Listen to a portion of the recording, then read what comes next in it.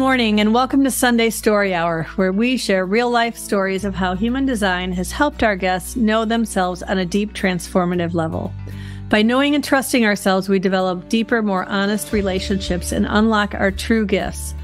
I'm Kathy Bochonko, and this week, my guest is Stefano Lazzaro, the guest that didn't want to go live, I guess, unconsciously, right?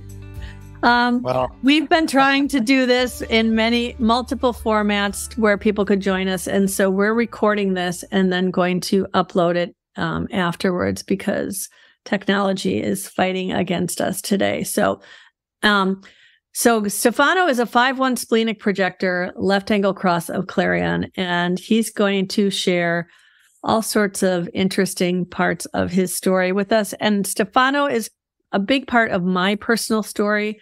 So, just to give you a little reference, Stefano reached out to me when I had made a post about midway time wise in my journey, but really when I was starting to first deep dive into what it means to be a projector. And he saw a post I did in a projector group and graciously reached out to me and gave me lots of information of it, what to do and lots of guidance on his own privately. And I am forever grateful for all your splenic projector wisdom over the years. So without any more ado, I'd love for you to um, just tell us a little bit about your your human design story, wherever you want to hmm. start with it.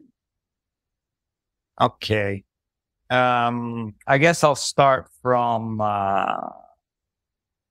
I think the year was around 2014. I was, uh, coming from a few years of uh, what I thought was kind of regaining my freedom after a 10 year stint in uh, in London as a working guy, as a super working guy, uh, quite successful as well. But um, I made some wrong choices, you know, and, and I was running away from the aftermath of these choices. And I was really in a, a bit of a tight spot because although I was able to travel and film and create, I was not really inside. I was feeling like there was something missing. You know, there's something I'm not getting. And also I had these pressures from these trial and errors I, that I had committed or that I had made uh, in this 10 year stint. Uh, namely, I lost uh, a house that I had bought with somebody and uh, I lost some money. I financed the film that I, my intuition had told me not to do, but there was an invitation. I just didn't recognize uh, the essence of it. I was still looking very much at the exterior world. So anyways, I was uh, stuck and I really asked the universe uh, in a very determined, if that's the word, in a very focused way to help me. And at the time, I was halfway or well with it, well in a project, a film project where I was um, filming a a mature DJ in Ibiza, uh, um, who who had a very interesting life, and it was the story of uh, kind of a renegade, uh, a bit of a story of of a loser, of a beautiful loser, just like me. So I went back to the island in the summer of 2015 to try and finish this film. And, and I, while I was there, I realized I, I hadn't filmed him for maybe a year and things had changed. It shifted in his life. There was a lot of, uh, kind of depression going on and, uh, things had gotten serious and we had become friends in all of this time and around the five years that I was filming him. So um, I was again in a like, should I film this? You know, it started to feel. I mean, my friendship with him obviously it got to the point where I started feeling for him, and therefore, as a subject matter, it was not really working. You know, anyways, I was also amidst uh, my own confusion as I've just tried to explain. And I asked that there was, we were all living in the subject's uh, farmhouse in this beautiful, uh, magic, magic place in near San Carlos, the small village in the east side of the island, northeast side of the island. And, um, I confided into this other person who was living there. It was much older. They're both much older than me, 20 years old, older. And, um, I, you know, I said, look, I'm really struggling. I don't know. Something's happening. I can't even put my finger on it. Uh, and he just said, ah, you should, uh, try this human design story. Human design, you know, it really changed my life and he gave me the contact of uh, someone who then became later on my teacher. His name is Jean-Philippe Godfolk, a Dutch reflector, six two like you.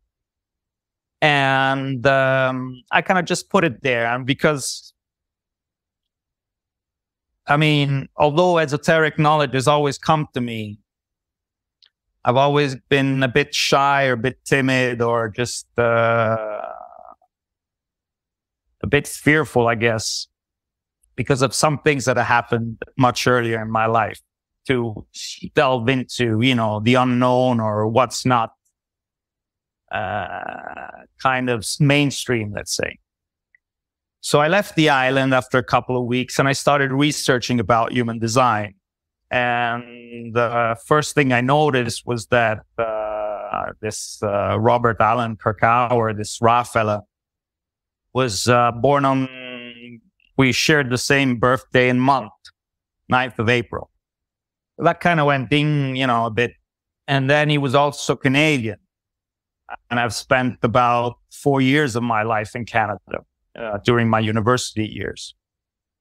So, and I looked into it. There was some videos on YouTube and I kind of uh, raised my curiosity, let's say. Um, so I returned to the island in November, I think it was, or late uh, late October of 2015, and I got in touch with Jean Philippe, and uh, we did a reading, and that. I mean, I wouldn't say like it shocked me or that it, you know, it told me things I didn't know, but it did actually put uh, some kind of organization of how I worked or how my energy worked. And I, and I was able basically to understand my, myself a bit better. Um, and then while this was happening, I realized that the subject that I was filming was one of Ra's. I mean, he knew Ra very well. He hung out with him. And so were a lot of the people around this subject who I had got to know because of the film that I was making. And so it was, you know, again, you know, these synchronicities happening. And I was just kind of, okay, maybe this is, you know, there's something here. Right. And uh, between, and I had decided, I mean, I, I, I, got a quite a lucrative gig at the time, uh, remotely. I was translating, uh, or subtitling uh, French films for a uh, Los Angeles company. And, uh, so that I could stay on the island and, you know, and pursue the film, try and finish this film, but also try and, you know, find more, find out more about this human design because of some of the things that Jean Philippe had told me during the reading. And um,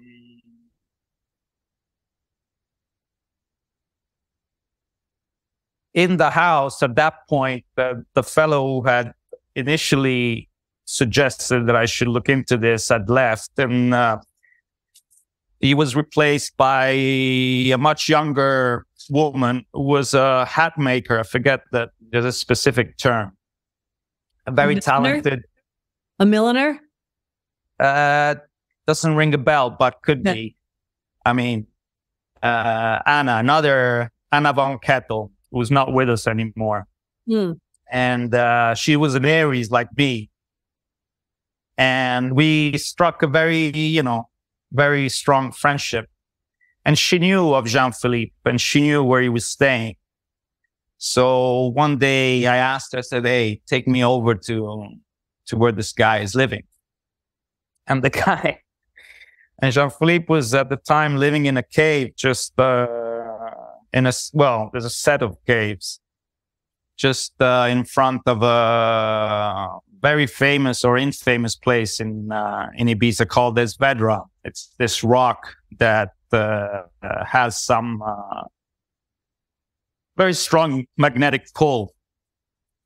And uh, it's also a place that historically uh, was known for either UFO sightings, but most importantly, uh, I think in the mid 80s or early 1800s, sorry, uh, it was a place where this monk had gone to kind of on a hermitage various times and returning with the visions and kind of channeling stories, which are not really well known. So kind of a magic place. Let's put it this way. And if you've been there or in front of it, you do sense that there is something that's quite powerful. Um, I've had mixed feelings in front of it. I've gone there many times and sometimes it's felt like very feminine energy, very warm. Other times it feels very kind of doom and gloom. Hmm. place. So it's a very strong magnetic portal? rock. Do you feel well, like I don't know. Oh, if I mean, I've never seen seen anything that suggests that. I just think Okay. that it's a place that carries a very strong magnetic field, Okay. very strong pull. And he was living right in front of it in this cave, and every to me it was just crazy. You know, I mean, it was great film subject, you know, but I was, you know, really trying to figure, you know, see where that rabbit hole was going. Mhm.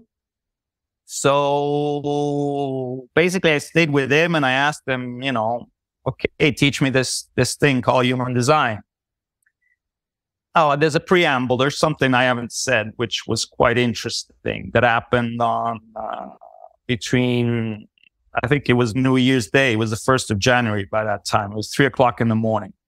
Um, I had gotten my reading, and I was kind of in between these two events that I've just said and I was, um,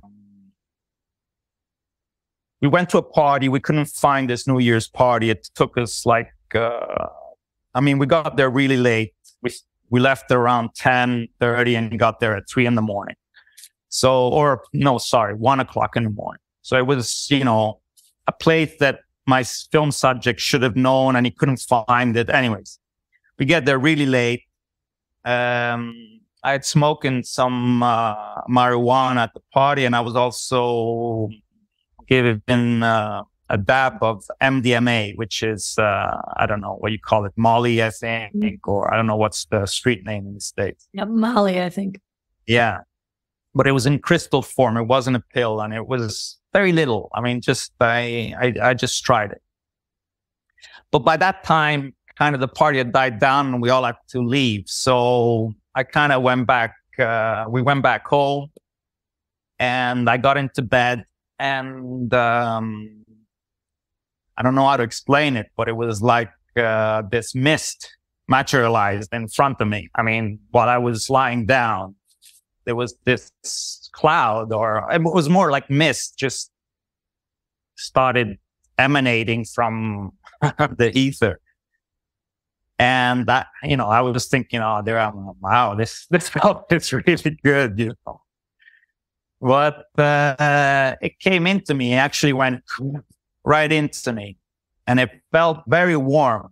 It didn't feel like some kind of, usually when there's entities or ghosts or uh, what I've now come to realize are just emotional imprints uh, in the quantum field. Uh, you usually get very cold. And this was like a warm embrace. It was very feminine. It was like uh, a woman's uh, kind of energy. And I don't know if that any, had anything to do with what came later, but as soon as I started checking this human design, I, I kind of understood very quickly what it was all about. I mean, I'm not saying that I had some channel. I mean, I had to learn it, but it was very easy to understand. And, um, and that's how I, I, I came to to know human design. But then the story kind of changed because I went back to the film subject, and uh, things started to get really weird between us. He was jealous of our friendship, of my friendship with Anna, and uh, it kind of got, you know, he was. I mean, he's a three five emotional manifestor. Mm. So this is the D the DJ, right? Yeah, exactly. Yes. So Is it, I had to leave, basically. Sorry. You did make a film about him, though, right? Isn't that one of your? Um, I made the, there is a film I made where he's featured in it. yeah. Yeah, he's Okay. one of the main features, but it wasn't a whole film. It was a documentary. I was actually trying to make a film, well, a documentary film just exclusively on him. And it never happened because Yeah. that drive broke. Uh, Right. yeah, I mean, if we get into my problem with the, electromagnetic, that's why probably this hasn't, ha- you know, happened today. Yeah, I'm noticing a trend. I think it's part of the 10-3, the, the, I think there's something, there's some literature, but I might be wrong, but I did, I did, uh, I think it's part of my 10, 10-3, you know, the behavioral, uh, Huh. Uh, the martyr, okay. the behavioral uh, aspect of the 10 in the martyr line. I think he has problems with uh, with gear or hardware or material, something like that. I think I read it. I might be wrong, but anyways, Uh, I've had it all my life. I've, you know, there's certain times where I just, for some weird reason, all the electricity, you know, shuts down or Well, someone especially did when I'm really tense. I wasn't tense today. So right. You were pretty chill. Someone did post that it was something to do with the moon um, and Mars or something, and um, something Mars opposing um, Mars and the moon, or I think, are opposing Uranus or something, which is supposed to be some sort of difficulty. So I don't know. There's always it's a recurrent theme in my life where Yeah. I mean I, I I was electrocuted as a child. Uh, Really? Yeah. I I mean I almost I remember being there for quite a while, but um, while I was uh, in my own bedroom, I put my finger on one of these. We used to live in a place that had. Uh, anyways, it's not important. I just got electrocuted. But it is interesting because I have heard something about an experience between or a connection between um NDEs, near death experiences and um psychic connection and abilities and that sort of thing. And and so I'm just curious, you know, if that might have something to do with um you know that whole connection with you know when the veil is so thin when you've almost crossed over that it when you come back it brings in some sort of ability It's to interesting. connect with things so yeah so back um back to the whole human design thing so you were learning it from this guy who lived in a cave in ibiza who was friends with ra right Yeah, well, I don't know how friend. I mean, you might have to interview him to see how Well, he a- was. familiar with ra he was an acquaintance Oh yeah, he was a student. I Oh, mean, student of ra okay he got the knowledge directly from Rob, and Okay. he ah, he's an amazing fellow because if you meet him, uh, everybody around them, everybody around me was telling, "Oh, no, Jean Philippe, no, he's crazy. Lima, you crazy guy." Blah blah. blah. everybody was talking dirt about him, and soon, not so much during the reading, although you know, because I was kind of interested in what he was saying. But when I went to meet him at his place, there was this recognition, which I've had a couple of times in my life, where I really like, I know you. I, you know, we've, you know, so there was this recognition from another lifetime, and uh, and uh, what he had to say. I mean, in, he's such a wise and heartful person that I just, you know, bonded with him, you know, straight away.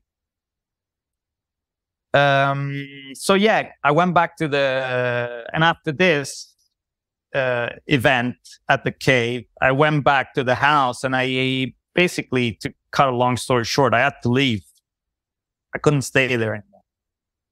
And uh, I asked some friends if they knew of a place that I could stay. And basically, I hit a jackpot because um, they had this, uh, they had just renovated an old farmhouse right in the middle of Ibiza that they were going to turn into a holiday place and retreat center.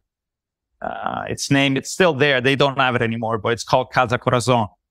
And they needed uh, somebody to keep the fire going because the fire was connected to the heating system.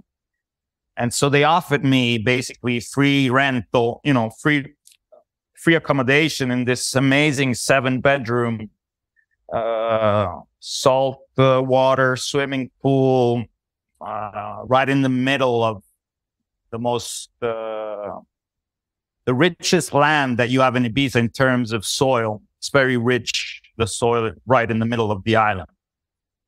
And as soon as I got to this place, I remember dreaming this place.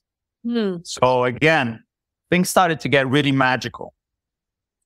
And it was during this period that uh, basically I had enough privacy and the time to really, you know, dig my teeth into into this uh, into this system.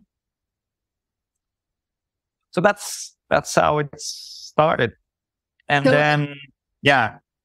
So that was um like 2015 by then, right? So no, it was 2016. It was the winter. Okay, at that point, okay. We had crossed over to 2016, okay. and then I think it was in the spring of 2016. I was asked because of my English skills and mostly, but because I guess I given these people a good impression they asked me if I could manage the place for them during the summer.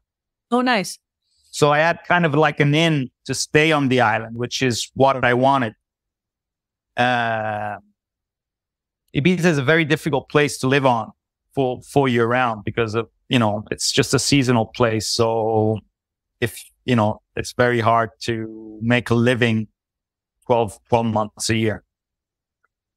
Yeah. So I accepted and um, I started uh, following Jean Philippe to night events across the islands, not every day, but you know, a couple times a week. And I started doing my own kind of mini readings, you know, very basic stuff, kind of energy type and uh, authority, you know, profile, this sort of thing. And uh, I liked it. Yeah. You know, I, I, all of a sudden I realized that uh, vocationally, I was much more happy in trying to help people find themselves because I mean, although this has happened in my life as a recurrent theme, you know, it was always kind of not too, not too deep or part of me was afraid of it and I mean, if you look at my design, I've got a reflector personality. So, yeah. I and- usually that that says that it's going to take a long time to figure yourself out. See, I've got if the somebody doesn't body. tell you. I have the reflector yeah. There you go. I mean, it's and if you have a reflector story going. I mean, it's yeah. Unless somebody explains it to you, then uh, I mean, for years I was just, oh, oh, yeah, that looks good. Let's go there. You know, oh, ah, nice, and you know, just getting carried sideways. My personality is a self-projected projector. The only conscious channel I have is the one eight. So I often find that I process like a self-projected projector. So okay, so I want to um, just talk about you know having this. You know, you've had a very unusual life, um, and we all have, right? We've all had our dip you know, on the surface, everybody can look away, but most of us have a lot of different things that but as a five, finding out you were a projector and a fifth line, um, and finding all that out on the, a magical human design place like Ibiza, I'm wondering um, how that affected your ability to like really understand yourself. Did you feel like that gave you like profound insights, or did you already know those things about yourself? As I said, I knew everything he told me, I knew. I even knew that I could only eat at night or that I like to eat at night. I mean, I've always known these things. I mean, my intuition, my there's a voice that speaks, and you know, the problem is that with an open, when my I've got a completely open mind, it's mm-hmm. uh, you're in that game. You know, you're in the mind game, whether you like it or not. If somebody doesn't explain to you, look, your mind's great for picking up things, and then waiting to release them to others when you're asked to. Yeah. I think in general, anybody who is very open, regardless of which energy type, uh, it's a difficult task because, you know, you just don't have a lot that's consistent about you. Yeah. Uh, but having said that, it doesn't mean that I did, it didn't, you know, awake, you know, it, it did give me a little dingy dingy because basically I started uh, to learn to relax because, you know, and this is an advice for all projectors. There's very little you got to do is just start to relax and get out of that buzz. Yeah. Right. I mean, it's different for you, I guess. I don't know because, you know, you're, you're, a, if I remember, you're a triple split, correct? Yes. Yeah, yes. So you, I'm triple. So you have three motors. You bridge my splits. So just so you know, we're ah. single split. And I was just sitting here thinking, oh, isn't it interesting? Because you're in Rome. So you're it's already evening there. So it's getting dark and you're indirect light and I'm direct light and it's daytime and sunny here. So we're in our correct We're in the duality. Right, in our duality. And and then you bridge my, all my splits. And um but what's really this is what I was thinking, you know, kind of contemplating before we got on and started having all of our technical problems was how comfortable I feel with you because it's an interesting dynamic because you bridge all my splits, but you do not define any new centers for me. So I feel very much at ease because I feel like I know who I am in a way that feels recognized. It feels like it can flow. And then that made sense when I looked at that and I was like, yeah, well, there's not some new definition that is something I'm not used to. There's just a connection between the centers that I already know in a way that feels really feels really good. But you and I have no electromagnetics and we have no um, companionship channels. We just have compromise and, and dominance. Yeah. So, you know, that's interesting to think about. And one of the dominants is you have the 1057 and I just had, or not dominance, one, the compromise. I have the 57 and, you know, you're splenic.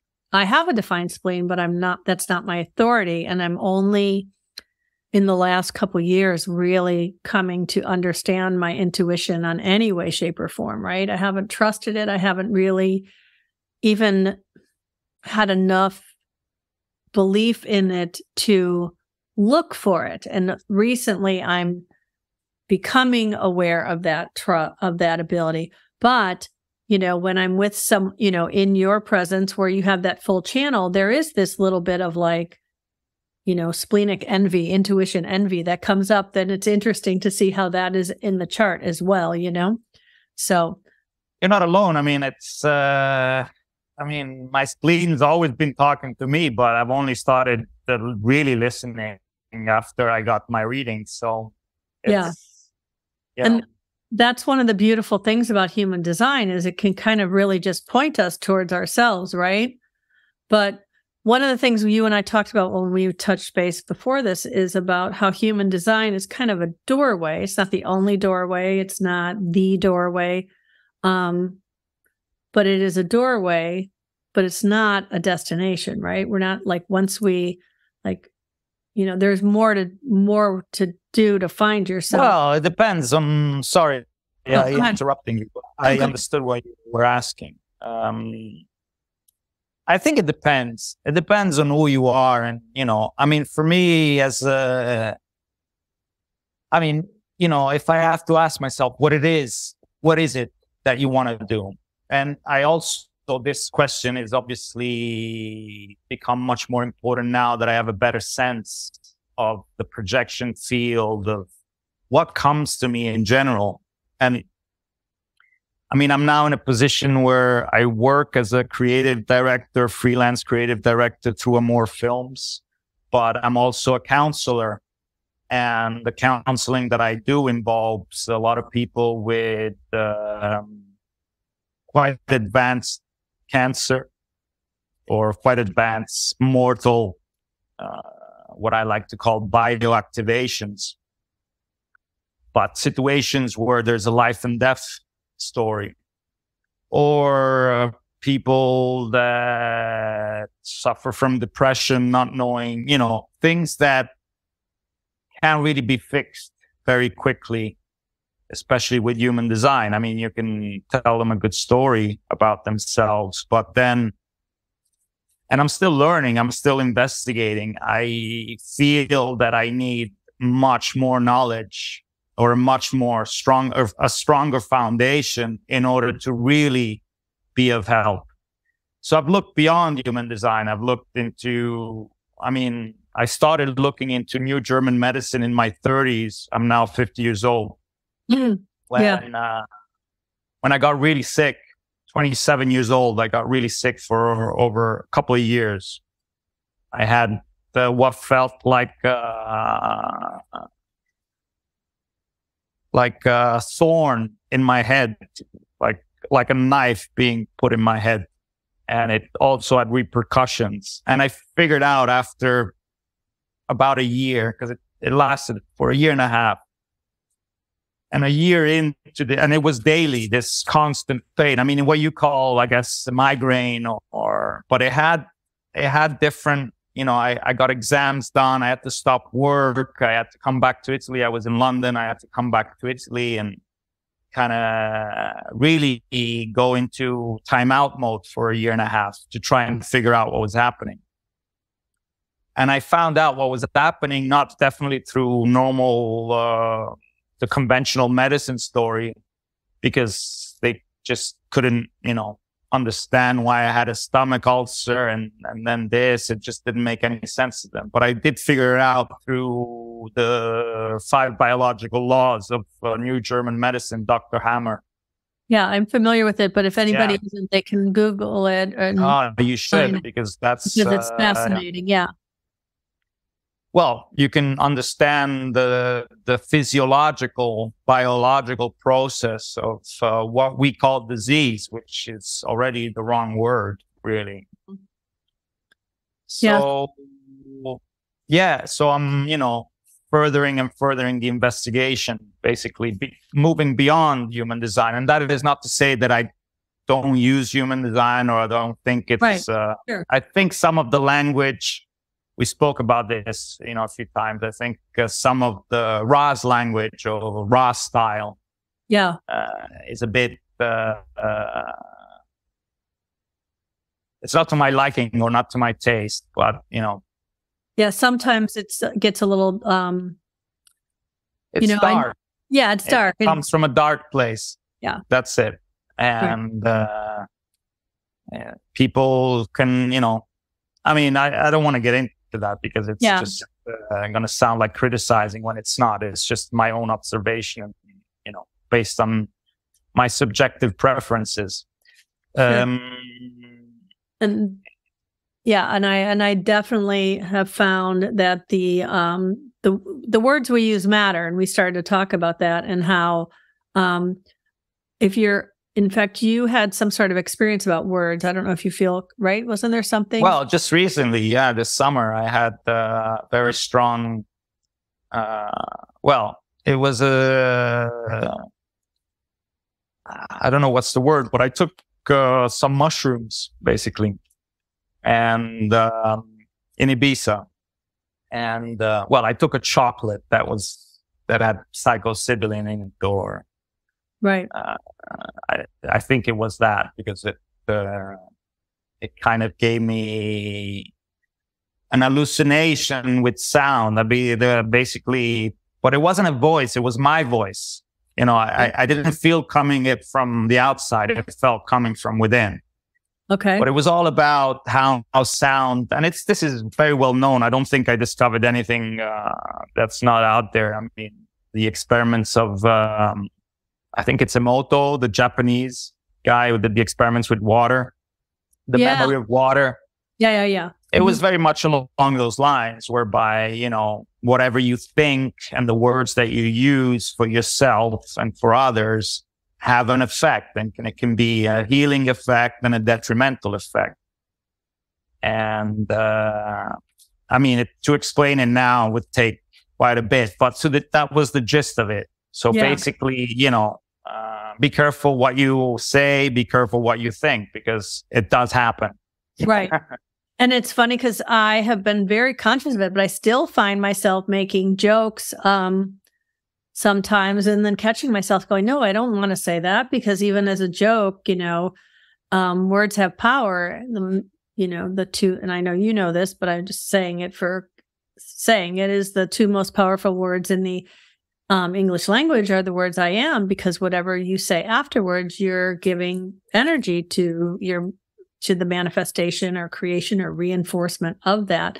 And so that's been really um, powerful for me. And that's part of why, as much as I do value some of the teachings in um, traditional human design that she doesn't bring into her stuff, I really love the language in the quantum human design stuff. And Karen Curry Parker is now Dr. Karen Curry Parker. She just got her doctorate and she did her dissertation on the effects of our story and the way we talk about it on our immune system. So she had people, they had people tell a story. I hope I'm remembering this correctly, but um, the gist of it was she had people tell a story of what um, something that had happened to them that was a disempowering story. And then they measured some immune markers in the blood.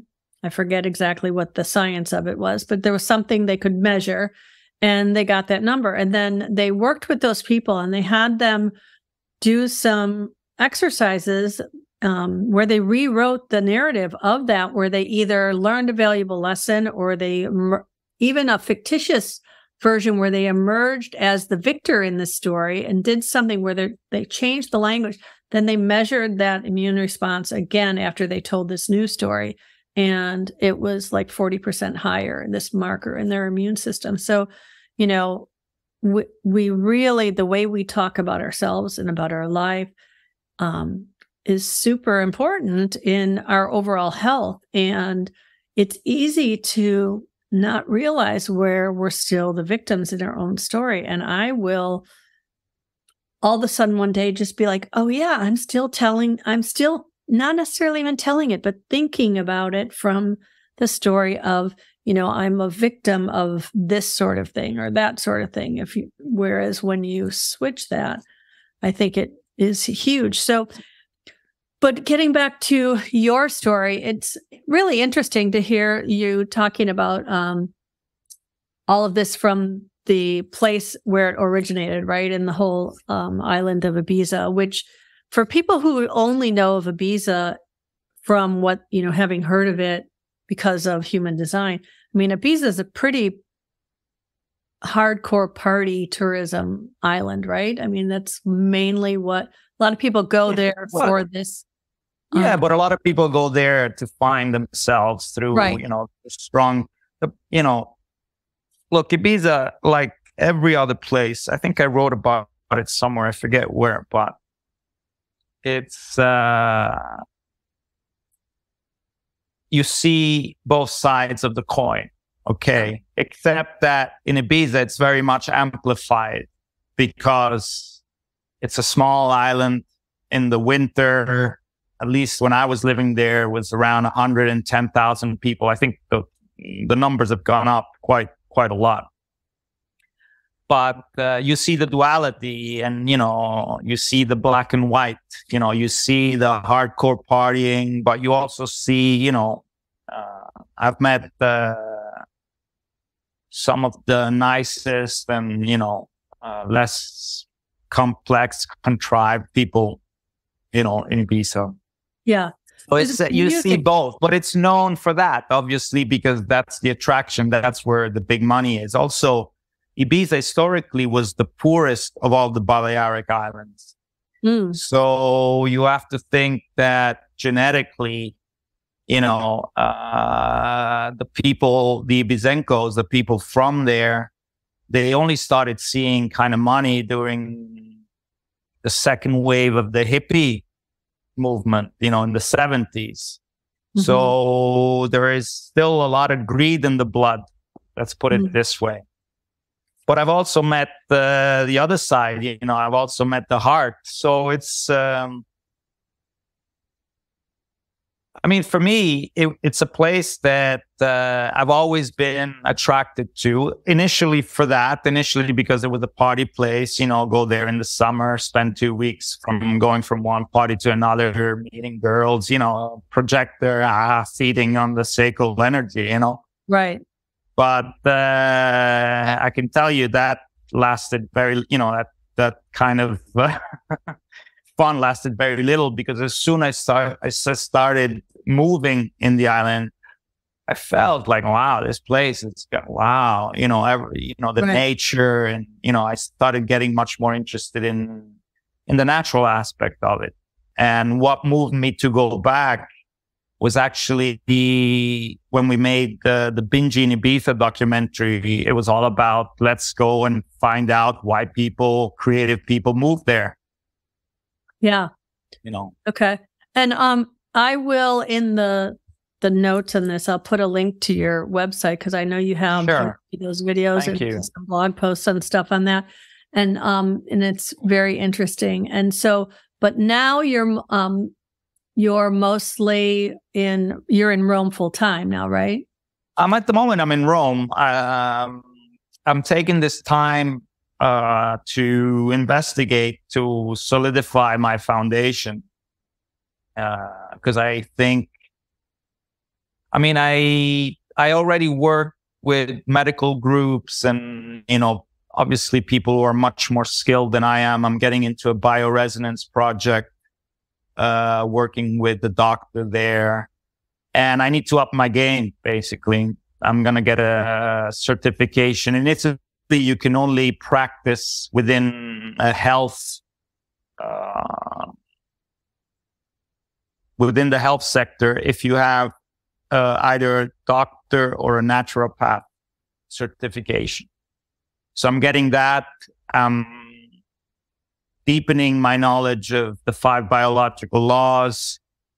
I'm still studying human design. I mean, I'm still, mm-hmm. you know, I'm always looking into you know, more depth. Although I'm starting to realize, and I think this is, you know, just coming into my Chiron that less is more and meaning that the more I know, the less my intuition, I'm not saying actually works, but it's like now I get to a point where somebody talks to me and depending on the sound of their voice, I'm really able to see, sometimes even see what's happened to them.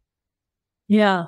You know, if I close my eyes and I use my inner vision, uh, something happens. I start between the sound and the inner vision. I start to actually see the event that I've made them, that I've activated them biologically. Now, have, have you found that you um, are are only seeing the events from because I know you are a believer in past lives affecting us. Yeah. So do you feel that your visions are all of this life or do you see like what people are bringing in from past lives or no, I don't think it's, I think it's more linked to the psychological of this life. Uh, in dreams, and I'm studying now also another thing which I haven't mentioned, which is important is that I've met somebody here. He's an 82 year old emotional manifestor, one four. His name is Umberto Di Grazia. He's, uh, very well known in Italy, but he also had, uh, some international success in his younger age, in his younger years. He dreamt of Ronald Reagan's assassination and led, he was in the military and he, he, he got that message through much earlier, a couple of months before it actually happened. And, uh, they didn't believe him and then it happened. And so they called him up and asked them to join a group of uh, of scientists or psychics that uh, started doing work on you know out of body experience, remote viewing, etc., etc. And I wouldn't say I'm studying under him, but because one four five one is a difficult, and also manifestor projector is a difficult, uh, you know, relationship I mean, it doesn't feel like uh, organic. Mm. It feels like, you know, there's times when I'm feeling his emotion and it doesn't feel right. And there's this, this very powerful energy. And obviously I'm not going to tell him anything about right. him being a manifestor because he's gone beyond that. I mean, right. I think, but he's, uh, making me understand the power of dreams, how to control dreams, how to control uh, myself in the dream, you know, and also um, how to use uh, visualization to heal, to go beyond the word and to actually trick the mind by uh, basically drawing hearts and flowers everywhere, but don't call them hearts and flowers because the right. moment you do, the mind kind of forgets the frequency of love. And I mean, it, we could be here for hours trying to explain what right. he's teaching, but it's kind of, I'm absorbing it most of the times. And yeah. there's a lot of physicality in the work. You know, there's a lot of physical exercises. It's not just the logical kind of studying. It's much more involved. And basically what I hope to do is at some point have this bag of tricks, you know, this toolbox that's, you know, very well assorted and powerful in order to, well, I'm going to use the words of Jean-Philippe, you know, in order for those who come to me that I can tell them about themselves. Yeah. Mm.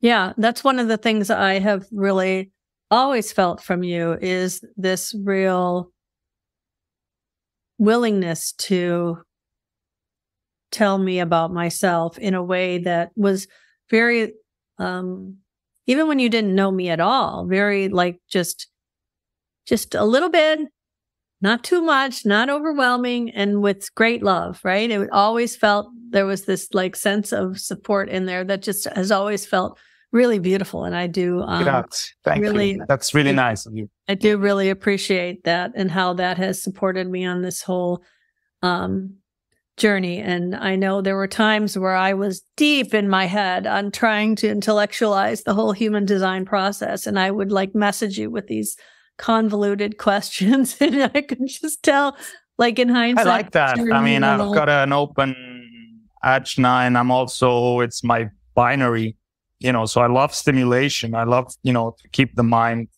right stimulated. So yeah. please feel free, you know. Yeah.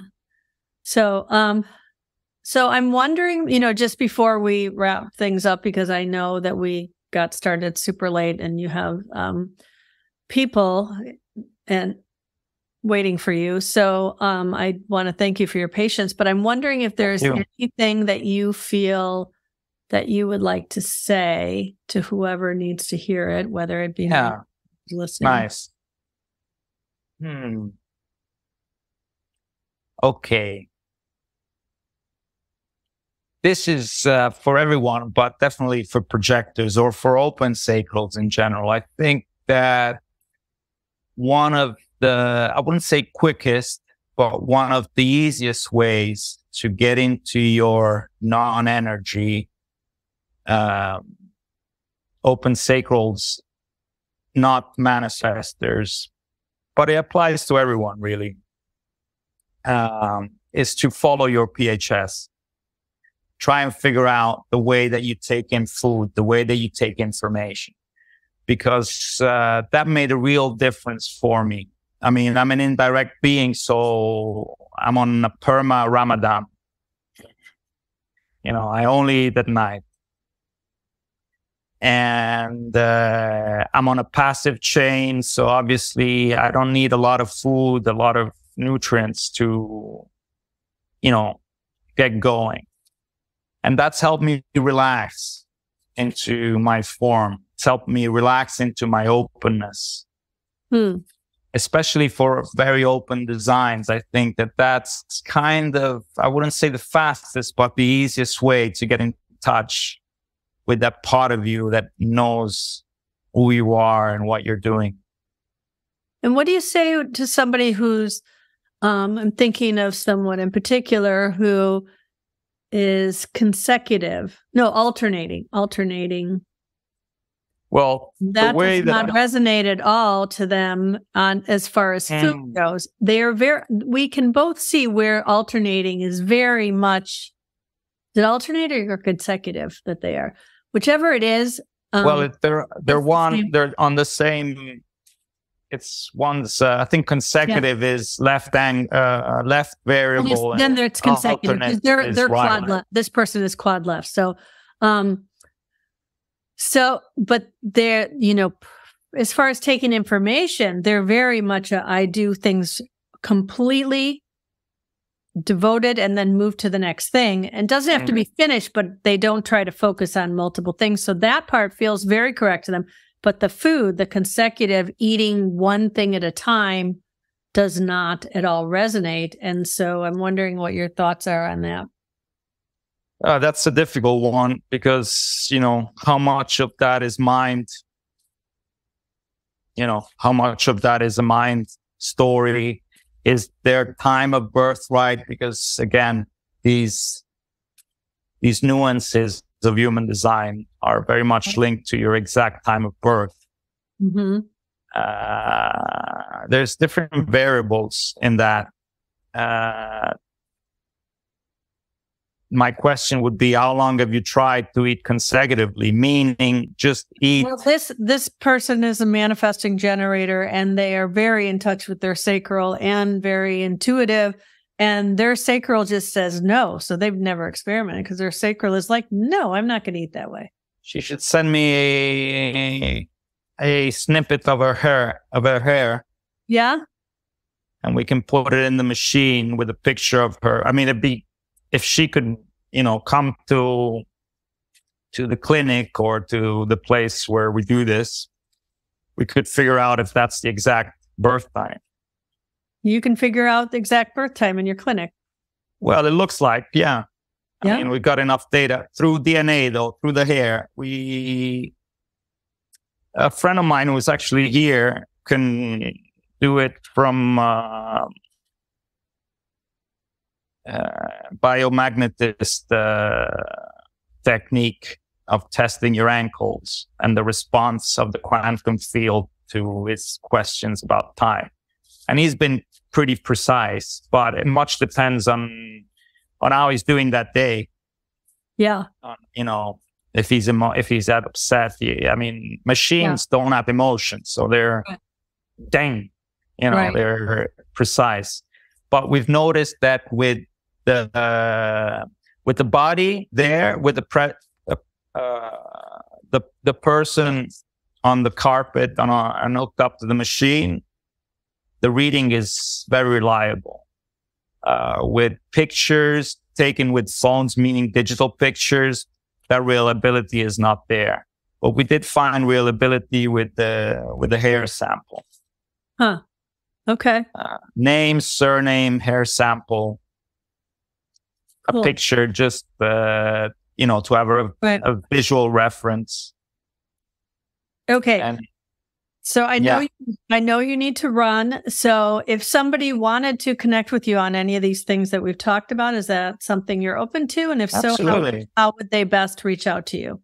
Um, put either through com- Facebook. I mean, Okay. To although I don't know how long I'm gonna be on the socials, message- okay. I find them a bit. Uh, it's a bit uh, of a distraction. Yes, very much I might shut down for a bit. Okay. Uh, but definitely either through Facebook or through my email. Okay. And what's your email? Are you comfortable giving that here? Uh, yeah. Uh, I'll contact at A M O R F I L M S dot org. okay. Contact at amorfilms.org. Okay. Awesome. And that goes directly to you. Great to me. Awesome. Well, I appreciate your um, patience on all of the problems we've had, and I very much have enjoyed um, this conversation. And Well, I hope, uh, yeah, that it's, uh, it's really weird for Splenic. It's just, I don't know that I say the right thing. I mean, if I start thinking about what I say, it's just going to go sideways. So hopefully, it was it, hopefully it, was all- good. Yeah, It was good for people to get some gist.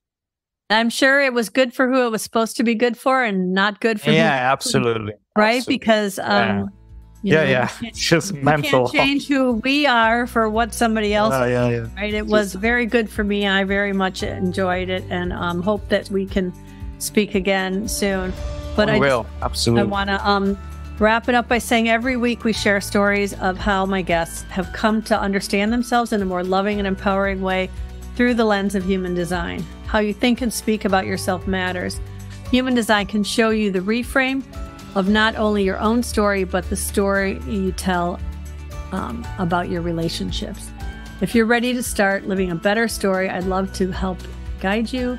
And to work with me as a mentor, you can set up a free discovery call at kathybochonko.com. It's just my name as it's written on the screen here. And, um, or you can DM me through Facebook or Instagram. And I would see you next week. And hopefully, next time we will be live.